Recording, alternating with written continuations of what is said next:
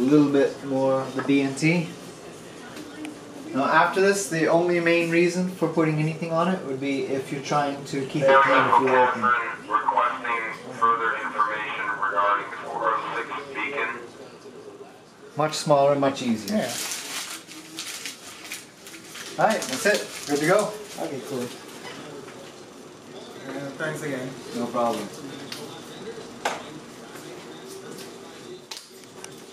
Well, ABSAR is Antigua Barbuda Search and Rescue. We're a volunteer search and rescue organization. We respond to at sea emergencies when we receive them either directly by radio on VHF, sometimes by cell phone, um, sometimes even by email. And also, the Rescue Coordinating Center in Fort de France, Martinique, will often call us up if they know of an incident. A lot more blood in it today.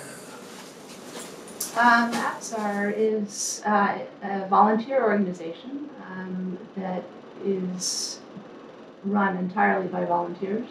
We have about a team of 15 or so, depending on the time of year. Jonathan has really taken it to another uh, dimension with search and rescue, which is the medical side of things. So we have this medic station here where people can walk in and we um, do minor uh, medical procedures here and uh, offer a lot of medical supplies to people. Uh, we mainly focus on wound management. Um, but then we also have an ambulance here and another rescue vehicle so we can transport people to the hospital. Um, and then we do firefighting. So um, if there's a fire on one of the boats here,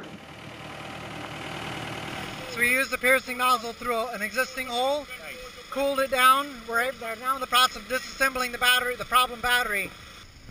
You good? Small out get it?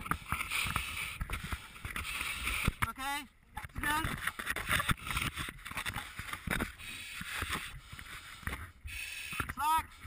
I grew up in Antigua. My parents moved here um, as missionaries when I was a kid. So when I started into emergency services, I always had the desire to come back to work in Antigua as a paramedic to help the people both in and around Antigua and Barbuda.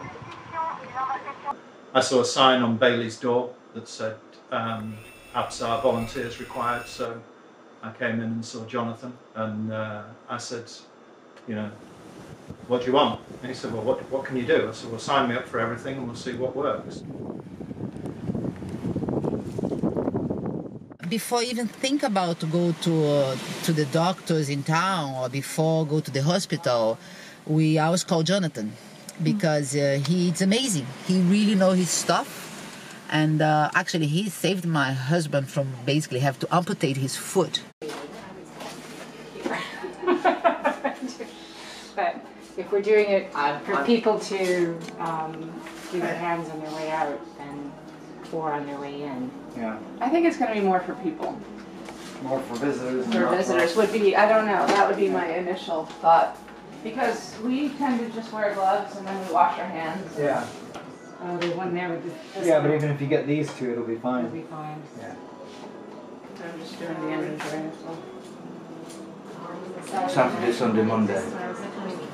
Yeah, that works better for me because if I'm really busy on Saturday night as well, then I can be after it. And, and, the- yeah, and, and the weekends is, um, you know, when I do have time. Yeah. Monday it'd be a little bit awkward, but then we just have to deal with Well, it. we'll swap at some point on Monday. Sometimes it gets quite hectic. I can be busy with my restaurant, working on a night time, you know, plenty of customers in, just finishing work, dropping the staff off. I get back maybe 11 o'clock at night. The next thing I know, I get a call out and I can be going out in the rescue boat till 3 o'clock in the morning. What? Didn't have the um, seals good, huh? Okay. Who knows where I'll be at Christmas? But what we like to do is always keep in the bow of the boat, into the swell, into the wind, or greater forces. That buffer zone is where you're setting yourself up and setting your crew up to make sure everybody's on the same page. Starboard side pickup. It's just not one person driving the boat, it takes the whole team. And sometimes that's not an easy thing. Communications is never easy. If it's a, between a crew or between two boats, uh, it just doesn't come easy and it takes practice. And, and that's why we emphasize the communications on the boat uh, throughout the training.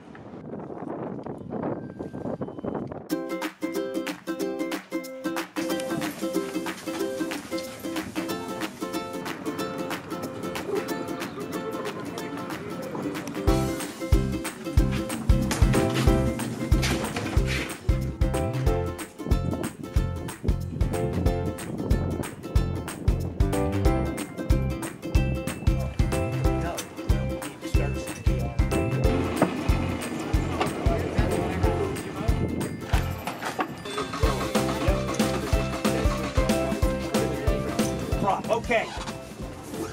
This is our, going to be our tow rope. Julie? It's not, but we're just going to use it to demonstrate.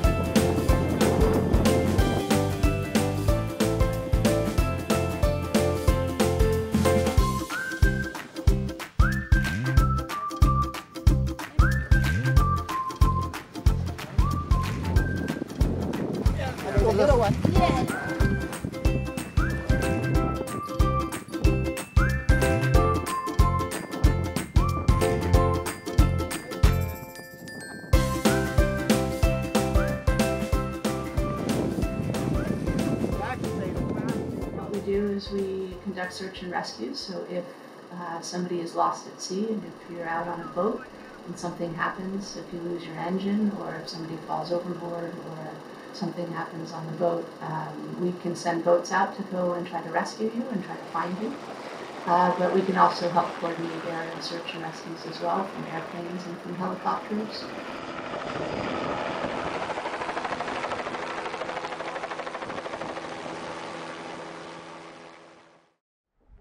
when we do rescue people out at sea, I've been on one rescue where these three guys were found, you know, and they were found in this little life raft, and uh, it. When you when you go out on a search and rescue at sea, it's like looking for a needle in the haystack. You know, it is you you think the chances of finding anybody are, are slim, but we do we do manage to to find people. So uh, there, you know, there are those memories where, you know, like the those three guys standing in their little life life raft, and they're like over here, and it's just like, wow, okay, you know, it's very rewarding, and you think, oh, okay, you know, an hour before finding them, I was thinking, God, we're never gonna find them, you know.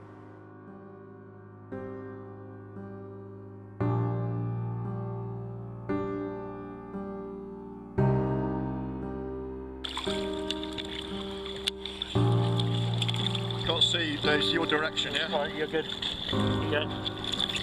Right, let me put away. Okay.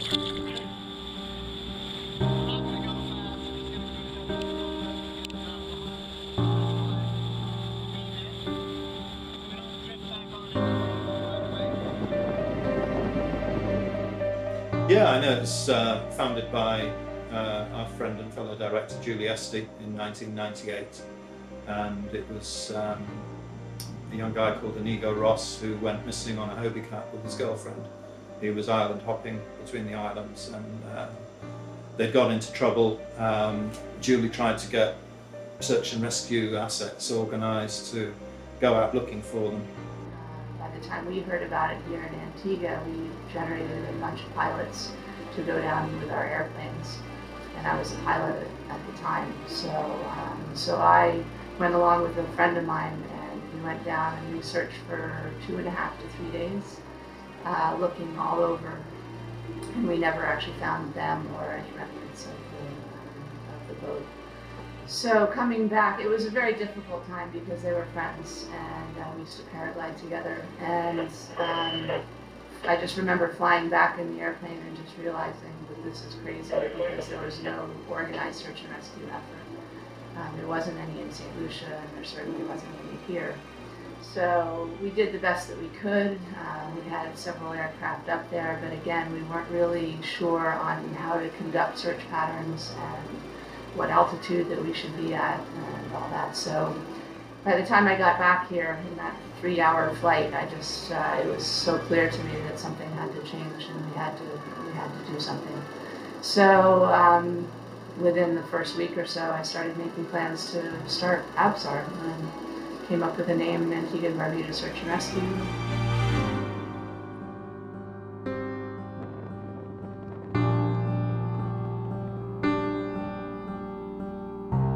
Pull that line down right here. No, the other side. Pull.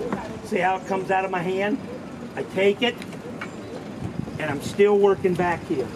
Okay. That, that, excuse me, that, that won't play out. No, it will not play out. Let me show you something. This line won't pay out. Remember, there's our half. As soon as I go right here, it's not going to go nowhere because this line, since I'm working here, you're going to kind of do a dip. Alright,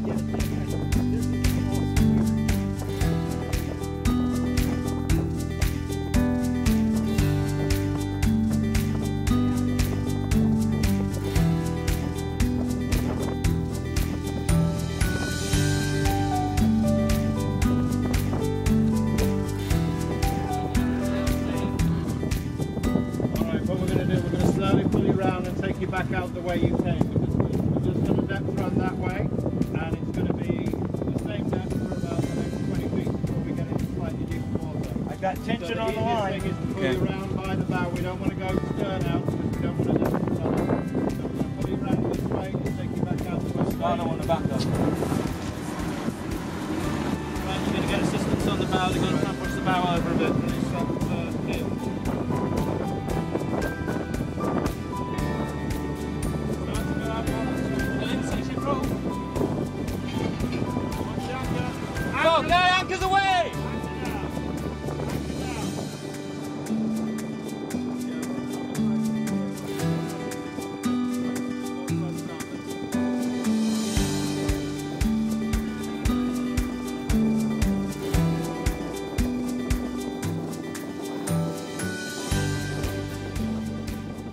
Generally speaking, the, the best quality of any volunteer is simply reliability. Somebody who's ready, willing, and able to be there when necessary to help get the job done. Um, all of us have different skill levels of what we're more comfortable doing and what we're better doing, and some people are better at some tasks and some not so much. And that's fine because there's all kinds of jobs out there that need to be done, and it takes a combination of the skills to make up the team to get the job done safely and effectively. I would say I've probably been volunteering for ABSAR for approximately maybe nine years. The day after I qualified as an EMT, my first call the day after was to Pigeon Beach to a man who'd been pulled out of the water.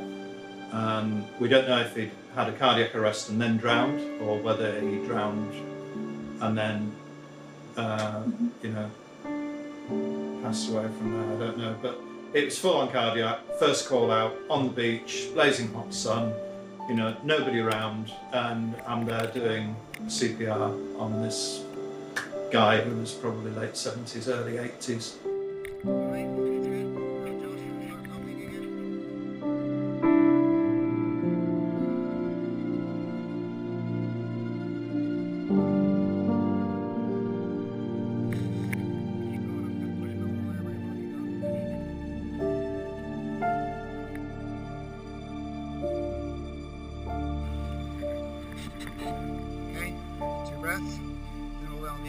Be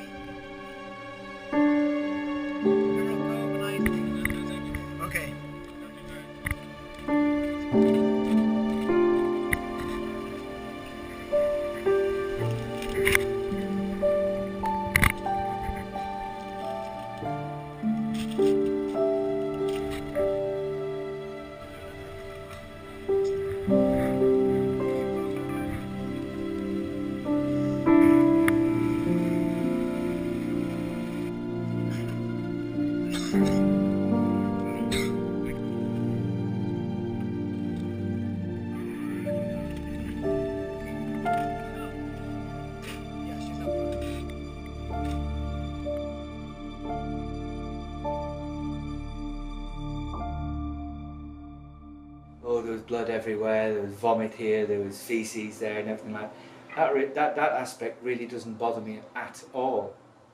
Um, and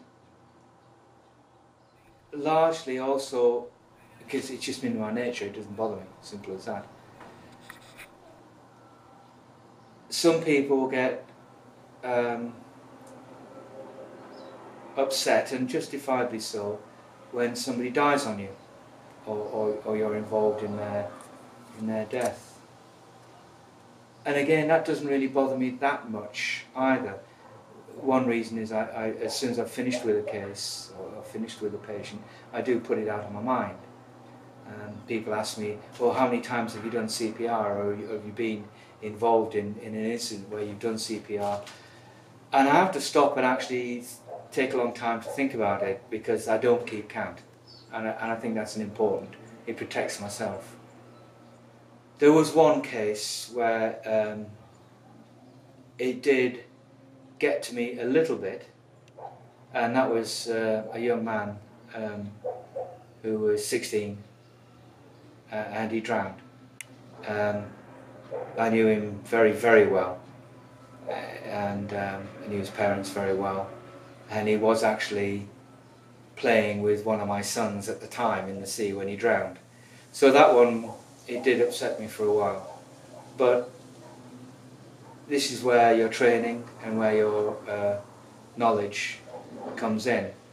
Um, because I am confident that, we, that I personally and we as an organisation did everything we possibly could. We didn't, we didn't make any mistakes which caused his problem.